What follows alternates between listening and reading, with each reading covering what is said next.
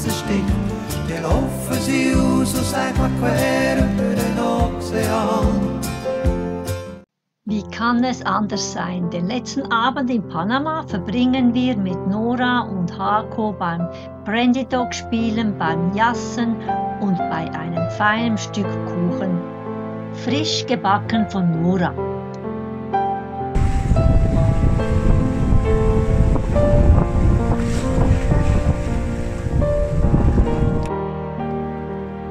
Tag 1, kein Wind, wir sind immer noch im Bereich der Las Perlas Inseln. Pia nutzt die Gelegenheit und näht eine gekaufte Mola auf ein Kissen auf.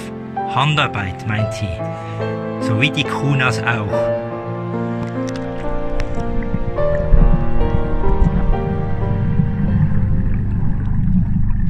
Die Auflagen und Vorschriften, wenn man nach Galapagos reisen will, sind sehr streng. Unter anderem gibt es Vorschriften, dass das Schiff unten extrem sauber sein muss, sodass man keine fremden Organismen ins Gewässer von Galapagos bringt. Hier habe ich das Schiff zum letzten Mal gereinigt und dokumentiere es für die Behörden mit einem kleinen Video.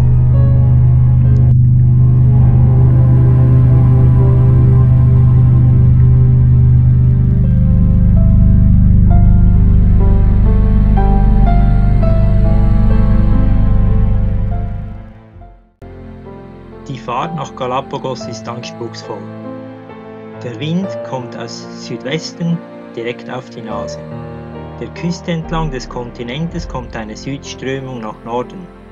Und zwischen dem 2,5 und 5. Breitengrad Nord kommt eine Westströmung Richtung Osten. Wir verlassen unseren letzten Ankerplatz auf der Isla del Rey und ziehen weiter Richtung Südwesten zum nächsten Ziel Galapagos.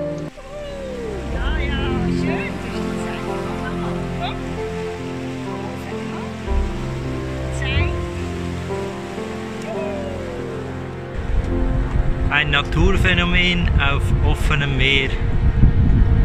Eine Windhose oder mehrere haben sich da gebildet. Wir müssen das beobachten, wenn das auf uns zukommt. Segel runter. Auf dem Radar klar erkennbar eine große Gewitterfront. Für uns heißt das, wir schlagen eine Wende und fahren direkt südwärts. Am Rande hat uns dann doch noch ein Regenguss erwischt. Das war dann der letzte. Die Saison für Regen, Blitze, Donner und Gewitter ist für uns nun endgültig vorbei.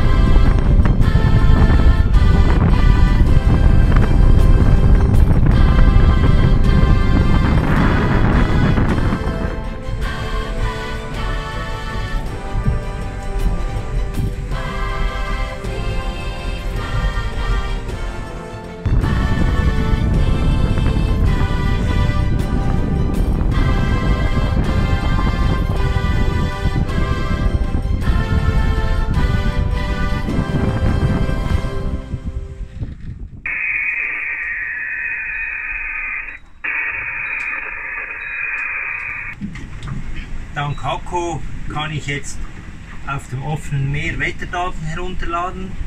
Zusammen haben wir das Funkgerät SSB und den Paktor zusammengehängt und über den Paktor, das ist ein Modem, kann ich jetzt den Computer anschließen und Wetterabfragen machen über SSB. Und hier haben die Wetterdaten von heute. Wir mussten jetzt hier kehren, wir sind ungefähr etwa hier äh, und fahren jetzt westwärts. Wir versuchen, tagsüber dreht sich der Wind noch leicht nach Süden, also wir können hoffentlich ziemlich viel westwärts gehen. Ja,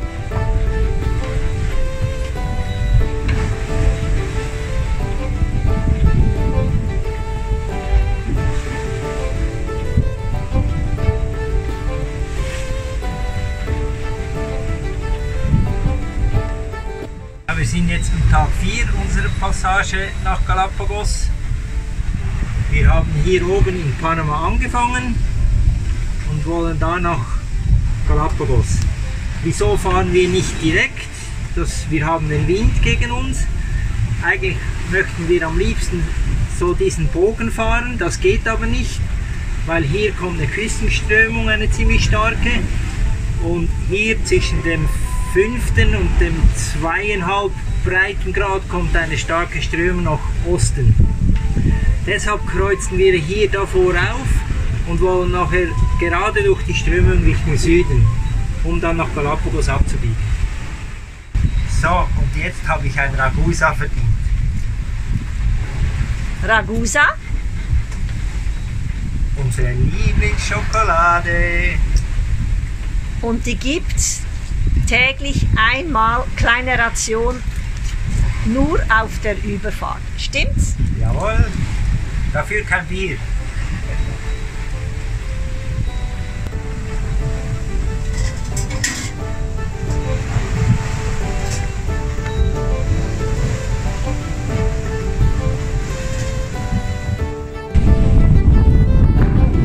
Seit über einer Woche sind wir nun hart am Wind Galapagos und wir nähern uns so langsam dem Äquator.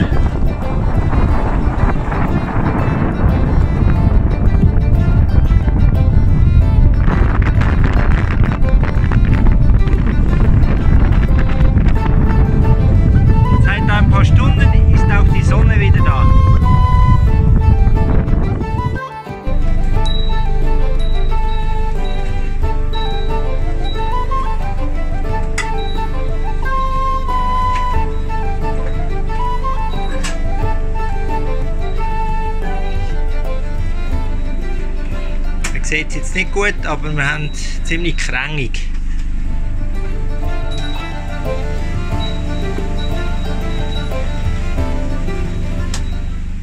Nixie, Anixi from Opina, do you read me?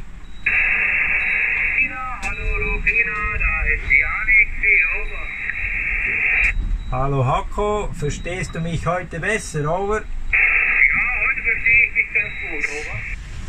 Wir sind vom Nordosten von Panama gekommen, zuerst mit viel Aufkreuzen und nähern uns jetzt diesem ominösen Strich.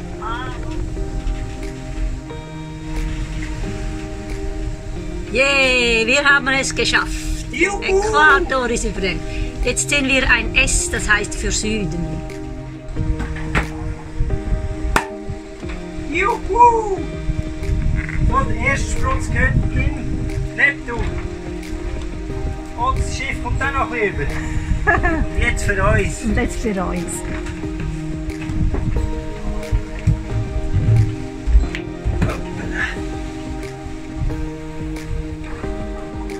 Prost Köbi, Prost Lupina, Auf die Äquatorüberquerung. auf den auf den Äquator überquert.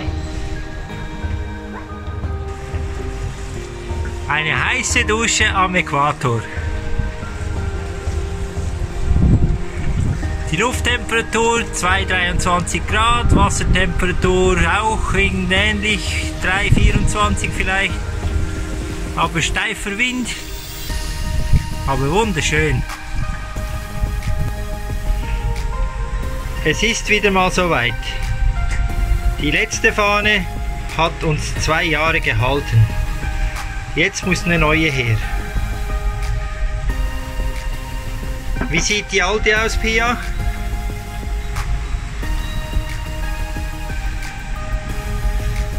Ziemlich lediert und dünn geworden. Aber zwei Jahre ist ein sehr guter Schnitt.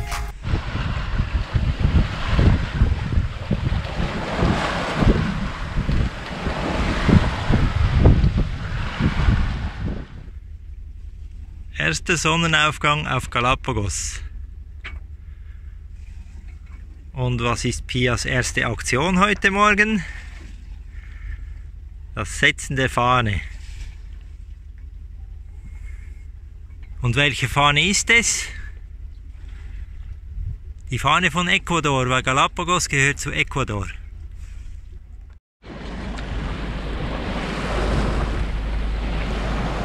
Der erste Eindruck von Galapagos.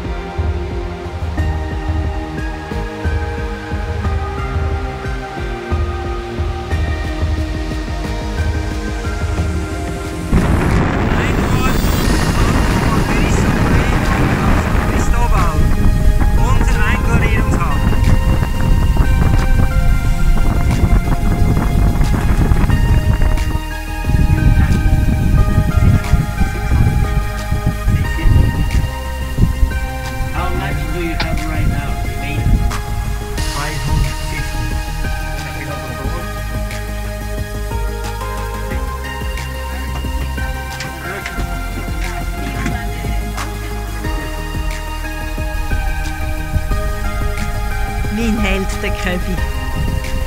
Die erste Fahrt im Pazifik ist perfekt. Galapagos!